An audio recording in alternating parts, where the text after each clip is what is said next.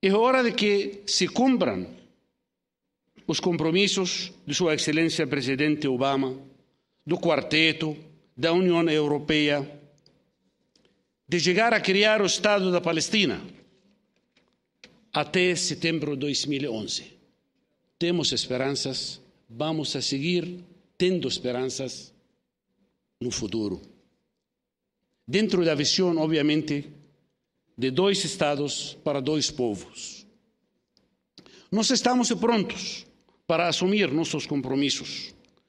Não precisamos esperar, senhor senador, outros dois anos. Nós estamos prontos para assumir nosso compromisso e responsabilidade com a comunidade internacional, com o vizinho Israel, com a